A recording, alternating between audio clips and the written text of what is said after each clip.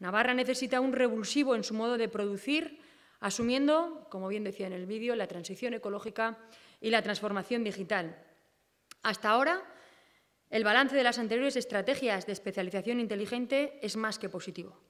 Navarra mejora la mayoría de los indicadores en los últimos cuatro años, como el PIB per cápita, la renta disponible en los hogares, exportaciones. El PIB per cápita mejora desde el año 2016 en tres puestos y Navarra es la cuadragésimo quinta, 45, entre 268 territorios europeos. Las estrategias de, de especialización inteligente para la sostenibilidad, S4, tienen como objetivo mejorar la sostenibilidad a través de la innovación, buscando una recuperación que sea sostenible, coherente con los objetivos de lucha contra el cambio climático.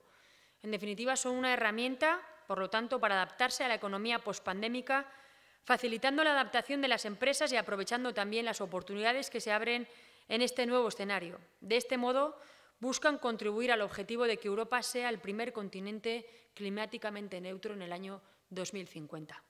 Y creo que con paralelismos eh, recientes y evidentes con la actualidad del PERTE del vehículo eléctrico y conectado que traerá consigo la electrificación de la industria navarra del automóvil y componentes. En definitiva, lo público como palanca de lo privado. Gobierno de Navarra. Nafarroako gobernua.